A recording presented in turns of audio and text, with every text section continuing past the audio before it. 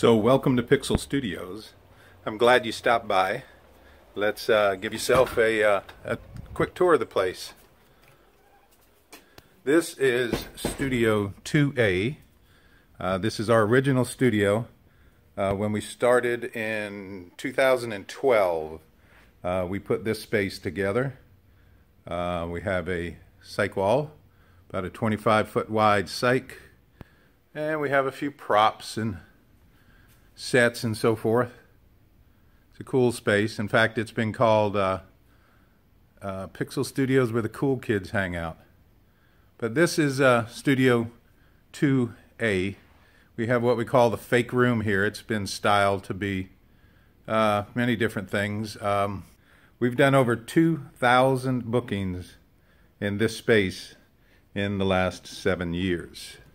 Now, in August, of last year, we were fortunate enough to take over the other half of this building uh, where we started uh, installation of a soundstage and second studio.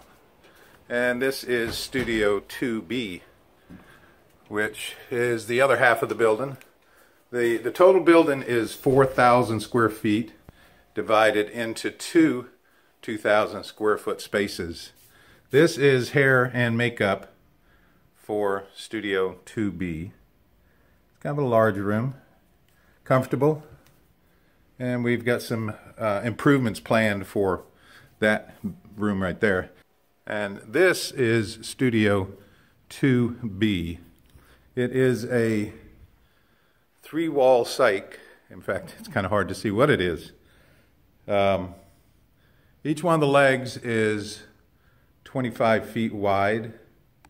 There we go. That might give you a little better idea. Uh, each one of the walls is 25 foot wide and it is a, a full cyc, full cove uh, with grid lighting for the screens. Um, then over here we have our green screen, which is 16 feet wide uh, probably has a five foot depth to it. We have theatrical curtains on either side of it. Uh, so this is basically Studio 2B. It's a very quiet room. Uh, ceiling height is 13 feet. And again, each one of the legs is 25 feet uh, per leg on the three-walled cyc. So uh, this space here, when it rains, you cannot hear uh, rain on the roof. Uh, if you notice up top, right there, boom, right there, that's our uh, air conditioner ductwork. We've uh, installed an air conditioner that is about as quiet as it can be. Uh, just worked out really well. So that's, uh, that's what we do. We don't have to turn the air off when recording live sound, uh, which is which is really nice if you're recording live sound. But anyway, that's uh, Pixel Studios 2B. We have, of course, bathrooms throughout. Let's go. There we go. Hey, there's a bathroom. A little little sink break area, so forth. Uh, so that's a quick tour of Pixel Studios. And we're located, whoa, it's bright out here today. There you go. We are in a standalone building, which means we do not share this space with any other business, which is really cool.